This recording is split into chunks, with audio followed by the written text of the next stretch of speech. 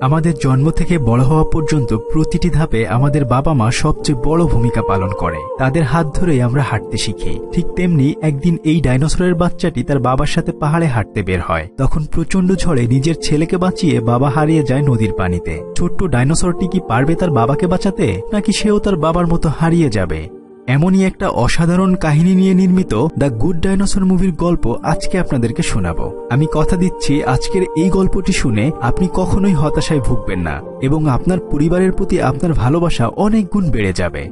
আর হ্যাঁ cinnamon animation চ্যানেলটি subscribe করতে ভুলবেন না কিন্তু। তো চলুন গল্পটি শুরু করা যাক। কোনো এক সময় মানুষের মতোই এই পৃথিবীতে ডাইনোসর বসবাস করত। ঠিক তেমনি পঁয়ষট্টি মিলিয়ন বছর পূর্বে একটি পর্বতের কোল ঘেঁষে একজোড়া ডাইনোসর স্বামী স্ত্রী বাস করত। তারা তখন মানুষের মতোই কৃষি কাজ করত। তারা স্বামী স্ত্রী দুজন মিলেই অনেক পরিশ্রম করে ভুট্টা চাষ করেছিল। তাদের মুখ দিয়েই তারা লাঙলের মতো করে সেখানে মাটি খুঁড়ত। আর পাহাড়ের পাশে বয়ে যাওয়া নদী থেকেই মুখের ভেতরে করে পানি এনে সেগুলো তারা তাদের ক্ষেতে ছিটিয়ে দিত।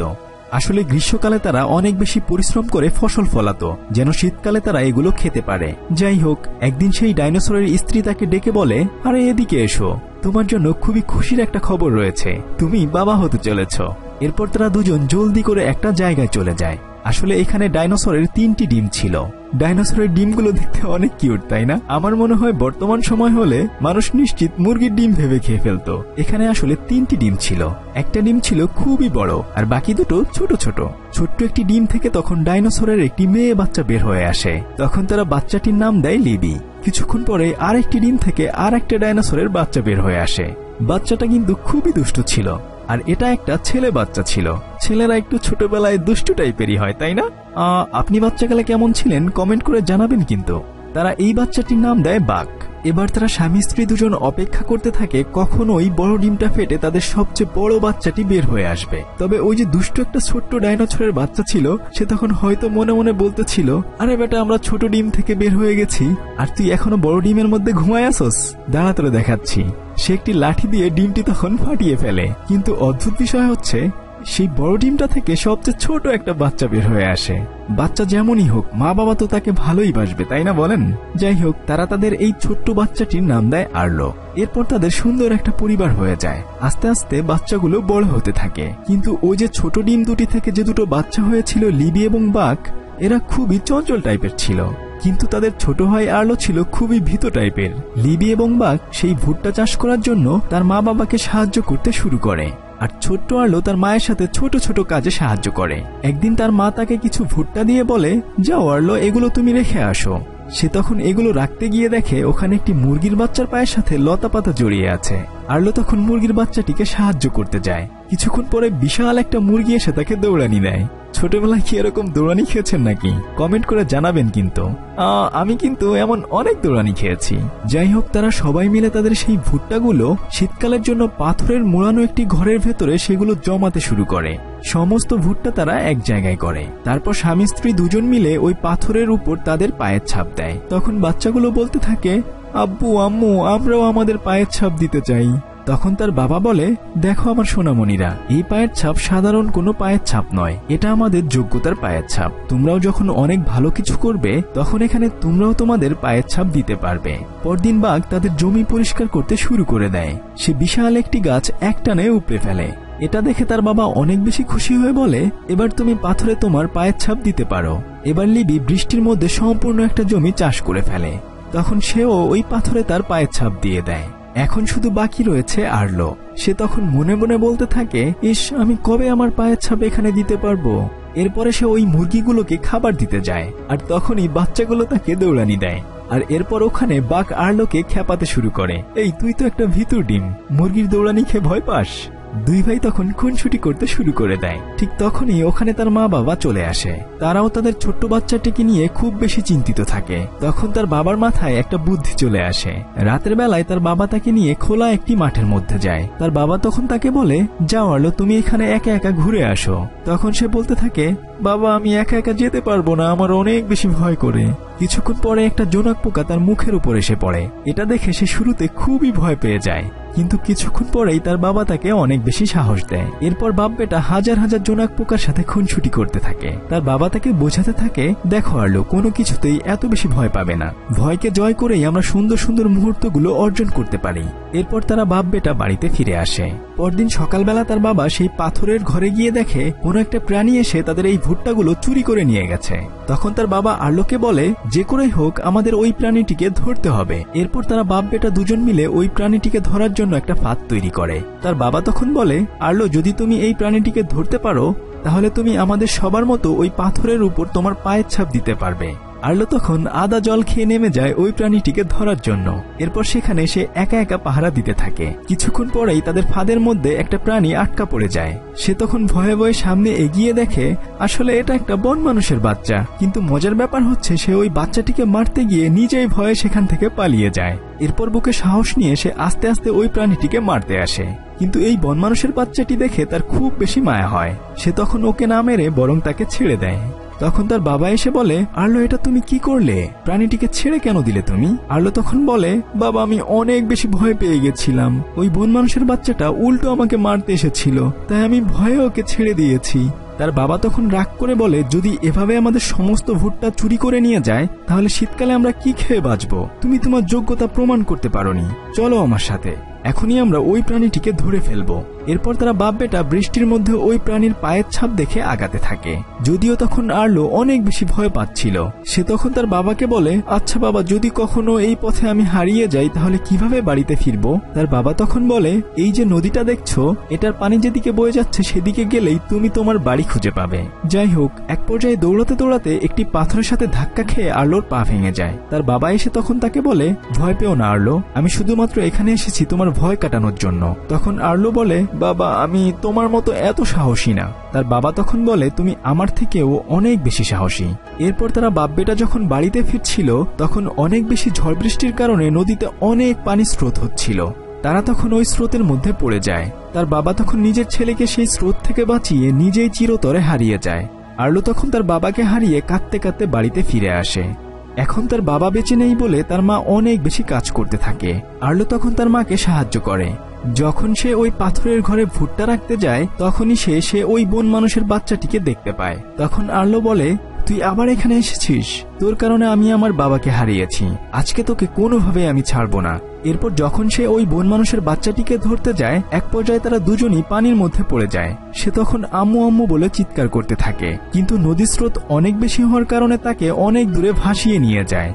পরদিন সকালবেলা আর্লো একটি নদীর কিনারায় নিজেকে খুঁজে পায়। বেচারা তখন পায়ে আঘাত পেয়ে একদমই হাঁটতে পারছিল না। তারপরেও সে অনেক কষ্ট করে পাথর বেয়ে একটু পাহাড়ের উপরে আসে। ঠিক তখনই সে ওই বন মানুষের বাচ্চাটিকে দেখতে পায়। এবারও আর্লো বাচ্চাটিকে ধরতে পারে না। কি আর করা? আর্লো তখন পাহাড়ের একদম উঁচুতে এসে তার ঘর খুঁজতে শুরু করে। কিন্তু কোথাও সে তার বাড়ি দেখতে পায় না। ঠিক তখনই তার মনে পড়ে যায়, তার বাবা বলেছিল, এই নদী যেদিকে বয়ে চলেছে সেদিকে গেলেই তুমি তোমার বাড়ি খুঁজে পাবে। এরপর সে নদীর কিনারা দিয়ে আস্তে আস্তে আগাতে থাকে। কিছুক্ষণ পরেই তার পায়ের নিচে কয়েকটি ফল খুঁজে পায়। এরপর সে ওই ফলগুলো গাছ থেকে পারতে যায়। একটা বড় পাথরের উপর দাঁড়িয়ে সে ফল পাড়ার চেষ্টা করে, কিন্তু কপাল খারাপ। কিছুক্ষণ পরেই সে ওখান থেকে পড়ে যায়, আর তার পা কয়েকটা পাথরের নিচে আটকা পড়ে যায়। অনেক চেষ্টা করেও সে কোনোভাবেই নিজের পা ছাড়াতে পারে না। এভাবেই দিন গড়িয়ে ওখানে রাত হয়ে যায়।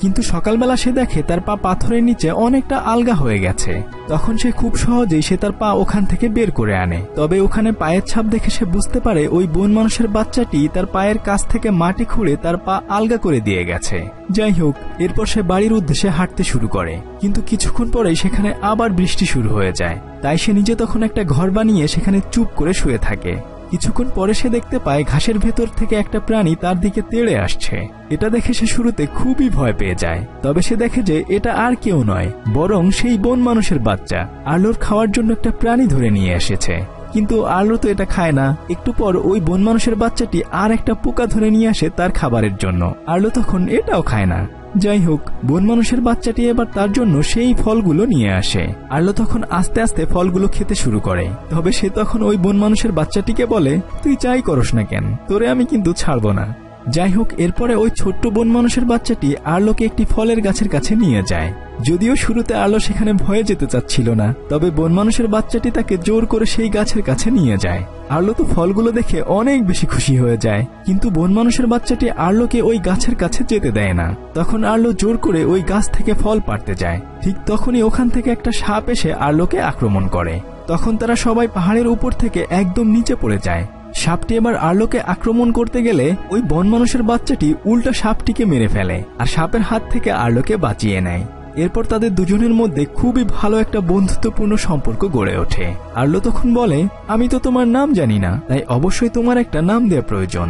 তখন সে তার নাম দেয় স্পট। এরপর তারা দুজন মিলে ওই পাহাড়ের কোল ঘেসে আগাতে থাকে আর কিছুক্ষণ পর পর তারা নানা ধরনের খুনছুটি করতে থাকে। দুজনের আসলে ভালোই দিনকাল কাটছিল। একসময় তারা পথের মধ্যে পড়ে থাকা কিছু ফল খুঁজে পায়। স্পট ওই ফলগুলো খেতে শুরু করে। আর্লো তখন ওই ফলগুলো খেতে লাগে। তবে কিছুক্ষণ পরেই তারা ফল খেয়ে একদম মাতাল হয়ে যায়। এরপর তারা দুজন মিলে নানা ধরনের অদ্ভুত অদ্ভুত কাণ্ড কারখানা করতে থাকে। রাতের বেলা একটা জোনাক পোকা দেখেই আর্লোর তার বাবার কথা মনে পড়ে যায়। এরপর সে স্পটকে বলে, আমি আমার পরিবারকে খুবই মিস করছি। তারপর সে মাটিতে পাঁচটি লাঠি পুঁতে বলতে থাকে, এটা আমি, এটা লিডি, এটা বাঘ, আর এ দুটো আমার বাবা মা। তারপর সে একটি গোল দাগ দিয়ে বলে, এটা হচ্ছে আমার ফ্যামিলি। যাই হোক, তুই তোর ফ্যামিলিকে এটা বুঝবি না, তাই না? কিন্তু স্পট তখন মাটিতে তিনটি লাঠি পুঁতে দেখায়, তার নিজেরও বাবা মা এবং সে সহ একটা পরিবার ছিল। এরপর সে দুটি লাঠি বালু দিয়ে ঢেকে দিয়ে বোঝায় তার বাবা মা মারা গেছে। এরপরে আর্লো নিজেও একটা লাঠি বালু দিয়ে ঢেকে বোঝায় তার বাবাও মারা গেছে। এভাবেই দুই বন্ধুর সুখে দুঃখে দিন কাটতে থাকে। একদিন প্রচণ্ড ঝড়ে তারা দুজনই খুবই আহত হয়। তখন আর্লো সেই নদীটিও হারিয়ে ফেলে। এরপর সে আকাশের দিকে তাকিয়ে আল্লাহর কাছে সাহায্য চাইতে থাকে। ঠিক তখনই সে আকাশে অনেকগুলো পাখি উড়ে যেতে দেখে। তখন সে ওই পাখিগুলোর কাছে সাহায্য চায়। পাখিগুলো বলে হ্যাঁ আমি তোমাকে সাহায্য করতে পারব। কিন্তু কিছুক্ষণ পরে আর্লো বুঝতে পারে, এগুলো আসলে মানুষ খেকো পাখি। তারপর আর্লো এবং স্পট ওই পাখিদের হাত থেকে নিজের জীবন বাঁচাতে সেখান থেকে দৌড়াতে শুরু করে। কিন্তু কপাল খারাপ, যেখানে বাঘের ভয়, সেখানে গিয়েই রাত পোহায়। এরপর তারা দৌড়াতে দৌড়াতে বিশাল বড় সাইজের দুইটি ডাইনোসরের সামনে এসে পড়ে। শুরুতে আর্লো অনেক ভয় পেয়ে যায়, কিন্তু ওই বড় ডাইনোসর দুটি রাক্ষসে পাখিদের হাত থেকে তাদেরকে বাঁচিয়ে নেয়। কিছুক্ষণ পরে বড় ডাইনোসরগুলোর বাবা আর্লোকে বলে, কি বাচ্চা ডাইনোসর? তোমার এখানে আসা একদমই উচিত হয়নি। তখন আর্লো বলে, আঙ্কেল, আমি আমার ঘর হারিয়ে ফেলেছি। আপনি কি আমার বাড়িটি খুঁজে দিতে সাহায্য করবেন? তখন ওই বড় ডাইনোসরটি বলে, এখন আমাদের হাতে সময় নেই। সবার আগে আমাদের হারিয়ে যাওয়া মহিষগুলো খুঁজে বের করতে হবে। তখন আর্লো বলে, আমি আপনাদেরকে সাহায্য করতে পারি। আমার বন্ধু স্পট যে কোনো কিছুর গন্ধ শুকে সেগুলো খুঁজে বের করতে পারে। এরপর স্পট মহিষের একগুচ্ছ চুল শুকে মহিষের দলকে খুঁজতে শুরু করে দেয়। সবাই তারা এক একটি পাহাড় পার হয়ে হারিয়ে যাওয়া মহিষের দলটিকে খুঁজে পায়। কিন্তু ওই মহিষের দলটিকে আরেক দল প্রাণী কবজা করে নিয়েছিল। তাই বড় ডাইনোসরটি আর্লোকে বলে, তোমাকে বুদ্ধি করে ওই প্রাণীগুলোকে ডেকে আনতে হবে। আর্লো প্রথমে অনেক বেশি ভয় পেয়ে যায়, কিন্তু এরপর সে বুকে সাহস নিয়ে একটা পাথরের উপর গিয়ে আওয়াজ করতে থাকে। কিন্তু তার গলা দিয়ে কোনো সাউন্ড বের হয় না। এরপর যখনই স্পট তার পায়ে জোরে কামড় মারে, তখন সে অনেক জোরে আওয়াজ করে। এরপর ওই প্রাণীগুলো তাদের কাছে আসলে বড় বড় ডাইনোসরগুলো তাদেরকে মেরে মহিষের দলটিকে তারা নিয়ে আসে। রাতের বেলায় তারা তাদের মহিষের দলটিকে খুঁজে পেয়ে পার্টি শুরু করে দেয়। তখন ওই বড় বড় ডাইনোসরগুলো আর্লোকে বলে, তুমি চিন্তা করো না, কাল সকালবেলা আমরা সবাই মিলে সেই নদীটি খুঁজে বের করব, আর আমরা তোমাকে তোমার বাড়ি পৌঁছে দেব। সকালবেলা তারা সবাই একসাথে যাত্রা শুরু করে। আর্লো তখন খুব সাহসের সাথে সেই মহিষগুলোকে সামনের দিকে নিয়ে আগাতে থাকে। তখন বড় ডাইনোসরটি বলে, বাহ, আর্লো, তুমি তো অনেক সাহসী একটা ছেলে। কিন্তু কিছুক্ষণ পরে আর্লো তাদের বাড়ির পাশের সেই পর্বতটি দেখতে পায়। সে তখন চিৎকার করে বলে, ইয়াহু, আমি আমার ঘর খুঁজে পেয়ে গেছি। তখন বড় ডাইনোসরগুলো বলে, যাও, আর্লো, তুমি তোমার ঘরে ফিরে যাও। আর আমরাও আমাদের মহিষের দল নিয়ে আমাদের এলাকায় চলে যাই। তখন তারা দুই বন্ধু খুশিতে নদীর পাড় বেয়ে অনেক জোরে দৌড়াতে দৌড়াতে বাড়িতে যেতে শুরু করে। পাহাড়ের কাছে এসে আর্লো স্পটকে বলে, আমরা আমাদের বাড়ির কাছে চলে এসেছি। স্পট তখন খুশিতে এক ধরনের সাউন্ড করে, কিন্তু তখন পাহাড়ের এক পাশ থেকে কেউ একজন স্পটের মতোই আওয়াজ করে ডাকতে থাকে। একটু পরে স্পট দেখতে পায়, ওখানে আসলে আর একটা বন মানুষ রয়েছে। আসলে তার মতোই আওয়াজ করে সেই স্পটকে ডাকছিল। যাই হোক আলো তখন স্পটকে বলে, চল বন্ধু, তুই আমার সাথে চল। আমার সাথে আমাদের বাড়িতে থাকবি, আর তো যত ইচ্ছা ভুট্টা খাবি। হাঁটতে হাঁটতে যখন তারা একটি পাহাড়ের উপরে যায়, ঠিক তখনই ওখানে বৃষ্টি শুরু হয়ে যায়। আর্লো তখন অনেক বেশি ভয় পেতে থাকে। কিন্তু কপাল খারাপ, তখনই ওখানে সেই মানুষ খেকো পাখিগুলো চলে আসে। একদল পাখি তাদের উপর আক্রমণ করে স্পটকে সেখান থেকে নিয়ে যায়। আর আর্লো বেচারা পাখিদের সাথে মারামারি করতে করতে পা পিছলে পাহাড়ের উপর থেকে একদম নিচে পড়ে যায়। নিচে থাকা গাছের শিকড়ের সাথে সে একদম পেঁচিয়ে আটকা পড়ে থাকে। নিজেকে ছাড়ানোর অনেক চেষ্টা করলেও সে নিজেকে ছাড়াতে পারে না। একটা পাথর তার মাথার উপরে পড়লে সে তখন ওখানে জ্ঞান হারিয়ে ফেলে। কিন্তু কিছুক্ষণ পরেই ওখানে আর্লোর বাবা চলে আসে। তার বাবা তাকে সেখান থেকে বাঁচিয়ে নেয়। তখন সে বলে, বাবা, তুমি এখনও বেঁচে আছো? আমি তো এটা বিশ্বাসই করতে পারছি না। আমার বন্ধু স্পটকে বাঁচাতে হবে। তবে হাঁটার সময় আর্লো দেখে যে তার বাবার পায়ের কোনো ছাপ মাটিতে পড়ছে না। যাই হোক, তার বাবা তখন বলে, আর্লো, তুমি আমার চেয়ে অনেক বেশি শক্তিশালী। যাও তুমি তোমার বন্ধুকে খুঁজে বের করো। এরপরে আর্লোর হুশ ফিরে আসে। সে আসলে এতক্ষণ স্বপ্ন দেখছিল। আর্লো তখন নিজের সমস্ত শক্তি দিয়ে সেখান থেকে নিজেকে ছাড়িয়ে নেয়। এরপর সে তার বন্ধু স্পটকে বাঁচানোর জন্য দৌড়াতে থাকে। পাগলের মতো সে ঝড় বৃষ্টি উপেক্ষা করে তার বন্ধুকে খুঁজতে থাকে। তবে কিছুক্ষণ পরে সে খুঁজতে খুঁজতে স্পটকে পেয়ে যায়।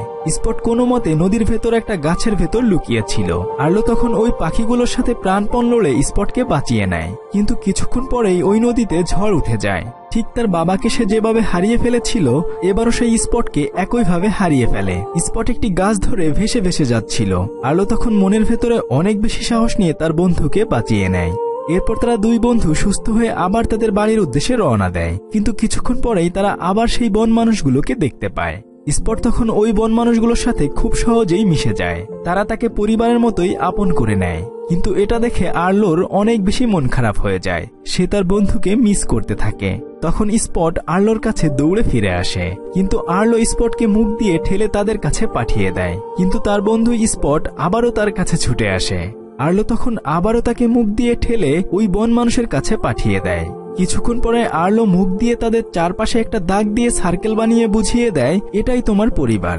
এটা দেখে স্পট অনেক ইমোশনাল হয়ে সে দৌড়ে এসে আর্লোকে জড়িয়ে ধরে। কি এক হৃদয় ভাঙা দৃশ্য, আপনাদেরকে সেটা বলে বোঝানো সম্ভব নয়। যাই হোক, এরপর স্পট তার প্রিয় বন্ধুকে বিদায় জানিয়ে ওই বন মানুষগুলোর সাথে তার নতুন পরিবারের সাথে চলে যায়। যাবার সময় সে বারবার তার বন্ধু থেকে ফিরে তাকাচ্ছিল। এরপর আলো তার বাড়িতে ফিরে আসে। তার ভাই বোন সবাই দৌড়ে এসে তাকে জড়িয়ে ধরে। সে আবার তার হারানো পরিবার খুঁজে পায়। এরপর সে ওই পাথরের ঘরটির কাছে গিয়ে তার নিজের পায়ের ছাপ দিয়ে দেয়। কেননা সে আর আগের মতো এখন ভীতু আর্লো নয়। যাই হোক, ভালো থাকুক পৃথিবীর প্রতিটি বাবা মা এবং বেঁচে থাকুক সত্যিকারের বন্ধুত্বগুলো। সবাই ভালো থাকুন। আল্লাহ হাফেজ।